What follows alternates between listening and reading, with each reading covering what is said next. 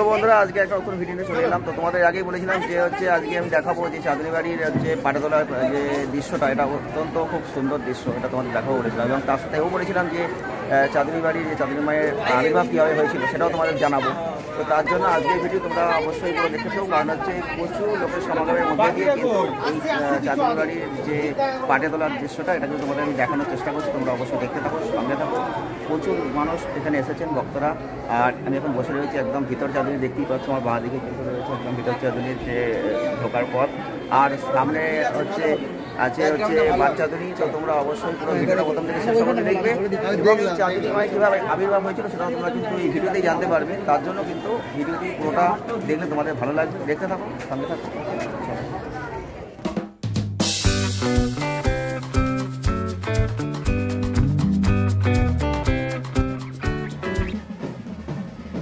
বন্ধুরা দেখতেই পাচ্ছ, আজকে তোমাদের দেখাবো চাঁদনী মায়ের পাটে তোলার সেই মুহূর্ত, সেই অসাধারণ দৃশ্য দেখার জন্যই কিন্তু আমিও চলে এসেছি।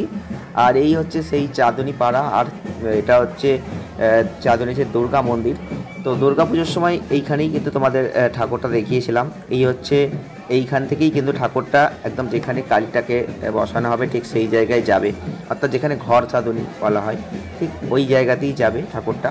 তো ওটাই কিন্তু বারান্দায় বসবে, সেটাই কিন্তু বাইর চাঁদনি। আর এটাই কিন্তু একটা তোমাদের দেখার ঐতিহ্য। আর সেটাই কিন্তু দেখতে পাচ্ছ এখানে যে বহু ভক্তবৃন্দের ভিড় আর বহু মানুষের যে ঢল নেমে গেছে এই জায়গায়। তো এই এত মানুষের সংস্পর্শের মধ্যে দিয়ে কিন্তু দেখতেই পাচ্ছ চাঁদনী মা বাড়ি থেকে বেরিয়ে এলেন। তো এইবার কিন্তু তিনি তার যেখানে গন্তব্য, সেখানে তিনি যাবেন। তো সেটাই কিন্তু আজকের ভিডিওয় তোমাদের দেখাচ্ছি। তোমরা অবশ্যই দেখতে থাকো আর সঙ্গে থাকো আর অবশ্যই কমেন্টের মাধ্যমে জানাবে। শান্তিপুরের এরকম বহু প্রাচীন বাড়ি রয়েছে। তার মধ্যে কিন্তু চাঁদনী বাড়ি একটা অন্যতম তো যার ইতিহাস অবশ্যই আছে। তো এই চাঁদনী মায়ের সৃষ্টি কীভাবে হয়েছিল, কীভাবে চাঁদনী পূজা শুরু হয়েছিল, সেটা তো অবশ্যই আজকের ভিডিওই বলব, তোমাদের আগেই বলে রেখেছি। তো এরকম যে প্রাচীন যে পুজোগুলো, পারিবারিক পুজো যেগুলো হয়, তার মধ্যে প্রাচীন পারিবারিক কালী পুজোর মধ্যেই চাঁদনী বাড়ির কালী পুজোর কিন্তু আলাদা একটা ঐতিহ্য রয়ে গেছে। তবে এই পুজো শুরু করেছিল গোপীনাথ সার্বভৌম। সেই নিয়েও কিন্তু বিশাল একটা কাহিনী আছে। যদি ধরা যায়, আজ থেকে বহু প্রাচীন যুগের কথা, অর্থাৎ প্রায় বাইশ পুরুষ আগেকার কথা। এই পরিবারের আদিপুরুষ গোপীনাথ সার্বভৌম একদিন বাড়ির নারায়ণ সেলা পুজোয় আয়োজনে ব্যস্ত ছিলেন। আর এমনই সময় একটি ছোট্ট মেয়ে এসে তার কাছে প্রসাদ চাইল। গোপীনাথ তাকে বোঝানোর চেষ্টা করেন, আগে পুজো হোক, তারপরে সে প্রসাদ পাবে। কিন্তু মেয়েটিও খুব নাছরবান্দা হয়ে পড়ে, তখনই তার প্রসাদ চাই।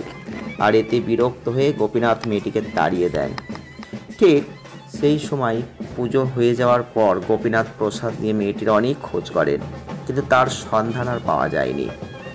আর সেই রাতেই গোপীনাথ স্বপ্নে দেখা পান সেই মেয়েটির। তিনি আর কেউ নন, তিনিই দেবী কালী।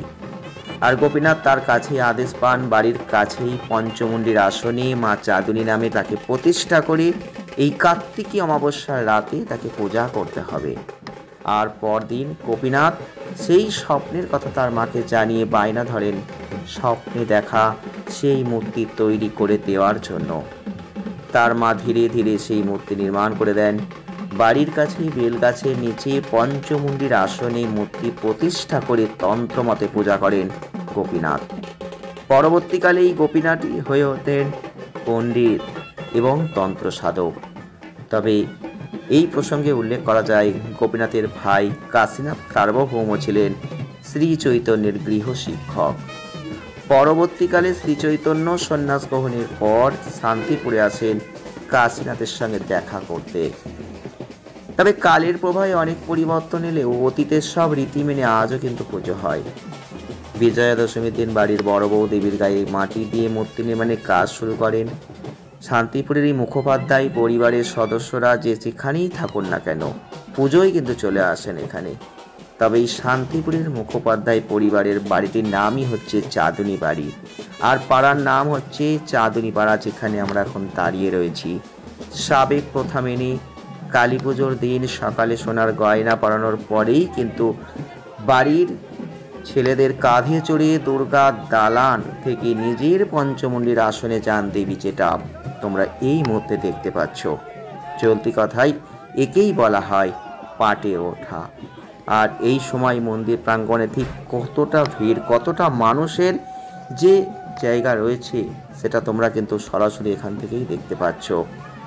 তবে এর ক্ষেত্রেও এক কাহিনী রয়েছে, একবারই দেবীর স্বপ্নাদেশ হয়। পাটে ওঠার সময় রোদের মধ্যে তার খুব গরম লাগছে তেষ্টা পাচ্ছে। সঙ্গে সঙ্গে ব্যবস্থা হয় উপর ছাতার উপর পাখা। দেখতেই পাচ্ছ হাওয়া করতে করতে নিয়ে যাওয়া হয়। আর মন্দিরে প্রবেশের আগেই দেবীকে শীতল ভোগ দেওয়ার রীতি রয়েছে যেটা প্রথমেই দেখিয়েছি। তাতে থাকে ভেজে মুগ ডাল, ডাবের জল, বেলের পানা, তরমুজ শশা ঠান্ডা দই, মিষ্টি তো এখনও নিয়ম অনুযায়ী একাদশী তিথিতেই সন্ধ্যাবেলা বাড়িতে বসে নহবতের আসর। প্রত্যেক দিন আট প্রহর নহবত বাজানো হয়। তো অবশ্যই তোমরা দেখতেই পাচ্ছ যে কী পরিমাণ মানুষের ঢল কিন্তু এখানে নেমেছে আজকে এই চাঁদনি পাড়ার এই রাস্তায়। আর এটাই কিন্তু এই ঐতিহ্য। তো কালী পুজোর দিন পাটে ওঠার পরেই শুরু হবে চণ্ডীপাঠ, আর তারপরেই বাড়ির সদস্যদের নামে হারা সরা এগুলো পুজো হবে। তো অবশ্যই এই পঞ্চমন্ডির আসনে এই মা চাঁদনীকে কিন্তু প্রতিষ্ঠা অর্থাৎ সেখানে বসানো হবে। তো অবশ্যই তোমরা আজকের ভিডিও জানতে পারলে যে এই চাঁদনী মায়ের ইতিহাস, চাঁদনী পুজো কীভাবে শুরু হয়েছিল। তো এটা দেখলে বাড়ির চাঁদনী, এর ভেতরের অংশে কিন্তু ঘর চাঁদনী, অর্থাৎ যেটা বাড়ির আরও ভিতরে আছে। একই জায়গায় দুটি ঠাকুরকে আমরা দেখতে পাই। একটি বাহির চাঁদনী আর একটা ঘর চাঁদনী। এক কথায় আমরা ঘর চাঁদনী এবং বার চাঁদনী বলে থাকি। তবে এই চাঁদনীতে আরও একটি ঐতিহ্যপূর্ণ থাকে, সেটা হলো যে প্রচুর নৈবেদ্য সাজানো থাকে, মিষ্টি সাজানো থাকে, যেটা তোমরা এর আগের ভিডিও দেখলেও দেখে থাকবে। তো অবশ্যই সেটা এর পরবর্তী ক্ষেত্রে ভিডিও আমরা দেখানোর চেষ্টা করব। সেই নৈবেদ্যই বিভিন্ন ধরনের ফল, মিষ্টি দেবীকে দেওয়া হয়। এই বারান্দা জুড়ে কিন্তু সাজানো থাকে, যেখানে এখন বহু মানুষের ঢল নেমেছে। তো আবার ঠিক কালী পুজোর পরের দিন বারোটায় সময়, ঠিক দুপুর বারোটায় বাস না বাজিয়ে দালান থেকে সেই জিনিস তুলে ফেলা হয়, একে বলাই ভাঙা বাসর। আবার সন্ধ্যে ছটায় দেবীকে বরণ করে আবার রাতের নটায় আলোকসজ্জা সহ প্রতিমা নিরঞ্জনে নিয়ে যাওয়া হয়। তো এই ছিল চাঁদিনী মায়ের সেই ইতিহাস। তো অবশ্যই তোমরা সরাসরি দেখতে পাচ্ছ এই মুহূর্তে প্রচুর পরিমাণে যে ভক্তগণের যে সমাবেশ এখানে এত মানুষ কিন্তু এই দুপুর রোদ্দুরে নেমে চলে এসেছেন, যেখানে শুধুমাত্র চাঁদনী মায়ের পাটে ওঠার জায়গাটা দেখার জন্য। যে কী অসাধারণ দৃশ্য আমি দেখাচ্ছি তোমাদের। এত যে জনসমুদ্রে ভাসমান, যে এত লোক কোথা থেকে এলো সেটাই বোঝা মুশকিল, কিন্তু এত মানুষ কিন্তু চলে এসেছেন শুধুমাত্র এই একটি জিনিস দেখার জন্য। দেখতেই পাচ্ছ, আমিও কিন্তু রয়েছি এবং তোমাদের সরাসরি দেখানোর চেষ্টা করছি ভিডিওটির মাধ্যমে। তাই তোমাদের কাছে অনুরোধ করব, তোমরা যদি এরপরেও এরকম সুন্দর সুন্দর ভিডিও তোমরা দেখতে চাও, তাহলে অবশ্যই কমেন্ট করো, চ্যানেলটিকে সাবস্ক্রাইব করো, সঙ্গে থেকো। আর এবারে আমরা মায়ের সুন্দর মূর্তিটা আর একবার তোমাদের দেখানোর চেষ্টা করব। মাকে প্রতিষ্ঠা করা হয়ে গেল, একদম বসানো হয়ে গেছে পঞ্চমুণ্ডির আসনে। এইবার কিন্তু দেখতেই পাচ্ছ রোগটা ঠিক কেমন লাগছে। তো তোমাদের আজকের ভিডিওটি এ পর্যন্তই। দেখা হচ্ছে নেক্সট ভিডিওই সঙ্গে থাকবে, ভালো থাকবে, সুস্থ থাকবে, আনন্দে থাকবে।